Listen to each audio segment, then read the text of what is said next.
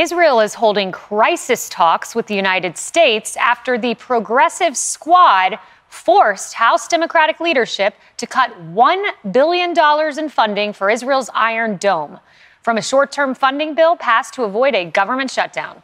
The Iron Dome is a purely defensive system that Israel uses to protect its civilians against airborne missiles, including the thousands that Hamas launched at the country earlier this year.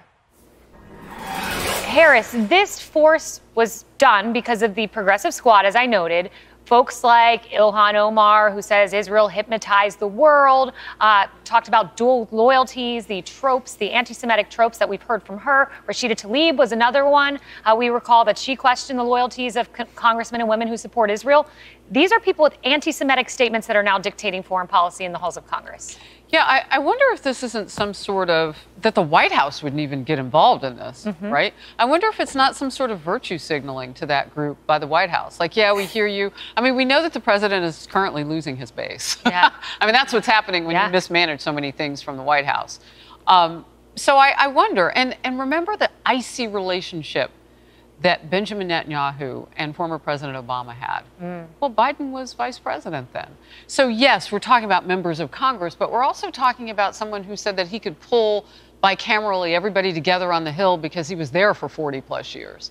So, I put some of this, I lay this at the feet of the White House because they can say whether or not we spend money in a bill because we want to help our greatest ally in that region defend itself. This is defensive only, mm-hmm. right? This isn't an offensive piece of equipment, the Iron Dome. It's, it's to protect people's lives. It doesn't go on the offense. Yeah. So I, I'm, I'm somewhat in a quandary over what this gets us. Maybe politically it gets him or, or them something. Yeah. I think you make the key point. He's lost his base. You know, they want him to roll back Title 42 on immigration. Right. He's not done it, so this is a way to placate them. I think that's exactly right.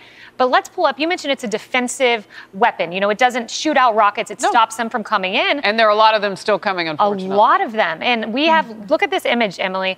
Every every flash you see, as AIPAC points out, is a rocket being destroyed. It is protecting innocent lives. It's protecting both Jews and Arabs. Every flash is protecting an innocent life by stopping a rocket from across that border. That's why this is so political. It is so transparent that the squad is doing this because of their anti Semitic outlook. Let's be frank with what it is. And unfortunately, Pelosi had to capitulate to them because otherwise the bill wouldn't pass.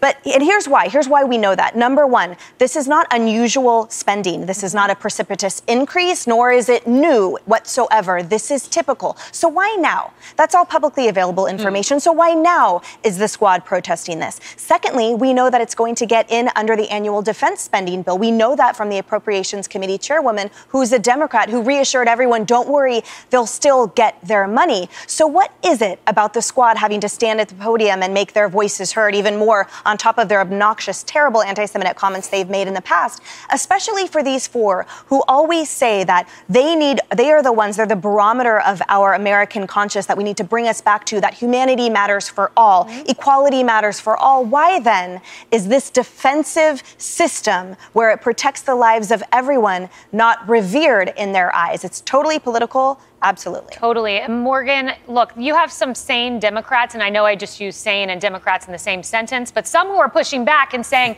look, 4,400 rockets came across over at Israel just this spring. This is necessary. You know this, Morgan. You lived it. Yeah, and and, I, and it's great that some of those moderate Democrats spoke out, and some of them very strongly in the House against these representatives. But you know, mm-hmm. this um, ideology is not new to the squad. We all remember 9/11 quite well, and remember after 9/11, right after it happened, there were people in this country um, that thought that we deserved it that thought that innocents deserved to be attacked because they disagreed with our military uh, policies around the world and with our military presence. And so that type of ideology is applicable here because the Iron Dome simply protects innocents from terrorist attack. And so it's got it goes back to this ideology that we've seen for over 20 years in this country that innocents in America or, or Israel in this case, it doesn't matter when innocents die if you disagree uh, with with the policy and think that in some weird, twisted way that they fundamentally deserve it.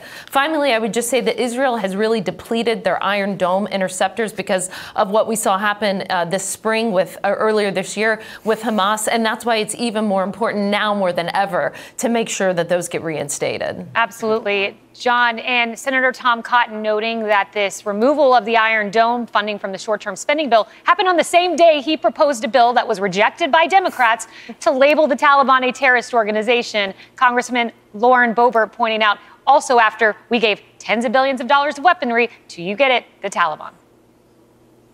Is there a certain word that we use to describe people who aid in the assistance of the destruction of Jewish people? Is there a certain word that comes to mind if you describe somebody like that? Yeah, there's a certain word that comes to mind, all right. So, on top of that, we armed the Taliban with American weapons.